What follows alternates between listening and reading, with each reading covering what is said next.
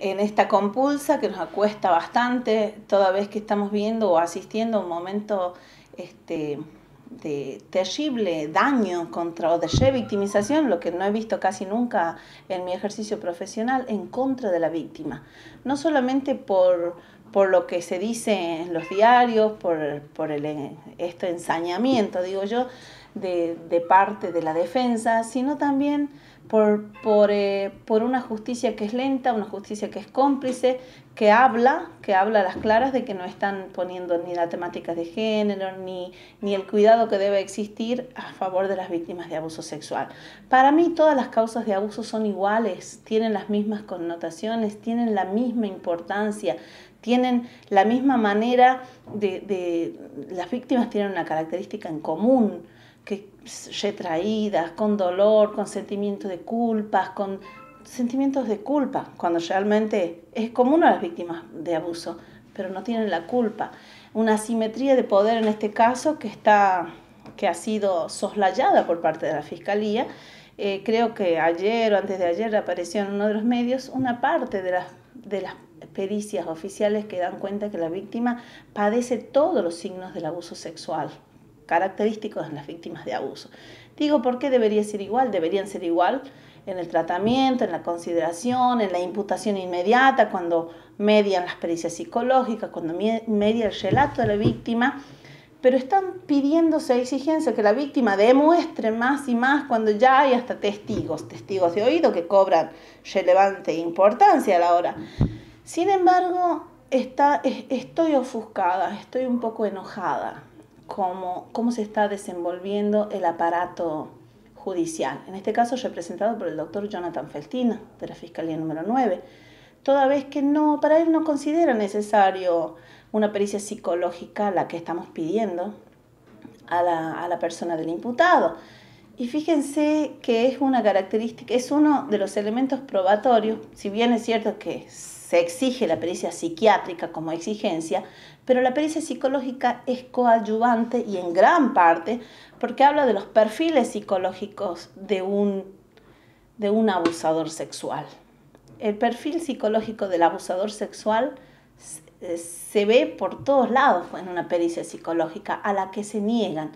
Eh, se niega el fiscal a, darla, se niega el, imputado a realizarla. No obstante, estamos arremetiendo contra eso. También eh, una víctima que está siendo objeto de un ensañamiento por parte de, mensajes anónimos por Facebook donde relatan su, o, develan su intimidad eh, o su, su identidad, por lo que estamos también haciendo lo propio en cuanto a sendas, cartas, documentos a las personas que forman parte del círculo profesional del doctor eh, Roberto Gómez toda vez que son empleados de Gómez, cómo tienen acceso a la identidad de la víctima. Bueno, no es, no es de, no hay que pensar mucho para ello. Sin embargo, es una lucha desigual donde la asimetría de poder se está haciendo ver no solamente en la persona de la víctima, sino en un entorno, en un entorno que castiga y calla a quien quiere ayudar a que, o coadyuvar a que estos delitos contra la integridad sexual que no queden impunes.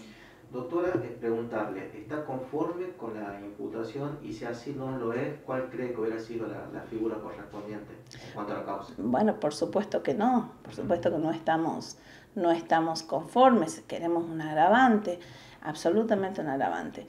Este, estamos eh, tratándolo y, solicitando con, con la con las solicitudes para la redundancia pertinentes al fiscal. Eh, queremos que se realice una inspección, lugar, eh, inspección ocular al lugar. Estamos solicitando ese libre oficio al juzgado laboral, en donde también obra una denuncia por acoso sexual de otra señorita en contra, con nombre y apellido, en contra de este sujeto. O sea, son muchas cosas que no son, son indicios, pero son este, arremetidas en contra del poder por parte de los más débiles. Eh, en este caso es una batalla sin cuartel de la que no dudo va a haber una, una buena respuesta, vamos a llegar a lo que tenemos que llevar, llegar, que es a un juicio contra este señor, pero, pero sobre todo me gustaría que el fiscal le ponga eh, le ponga fin a esas cosas mediáticas que no son veraces, no son ciertas. Por ahí se ha dicho, han dicho los abogados, la víctima no padece nada, al contrario, la víctima habla de venganza. En ningún punto de la pericia, ni oficial ni pericia de parte, se dice eso.